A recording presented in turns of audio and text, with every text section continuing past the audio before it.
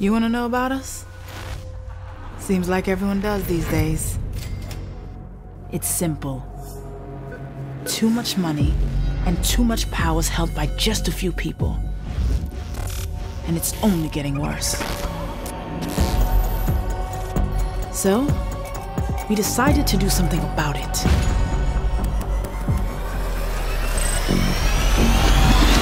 Let's go.